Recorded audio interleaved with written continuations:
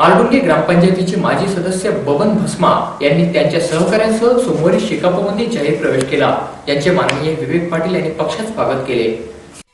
मालडुंगे ग्रामपंचायतीचे माजी सदस्य बबन भस्मा यांनी माननीय विवेक पाटील यांच्या कार्यप्रणालीने प्रभावित होऊन व पनवेल अर्बन बँकेचे चेअरमॅन अजय कांडपिळे यांच्या नेतृत्वाखाली आपल्या सहकाऱ्यांसह सोमवारी शेतकरी कामगार पक्षात जाहीर प्रवेश केला. ज्यांचे माननीय विवेक पाटील यांनी पक्षात स्वागत केले.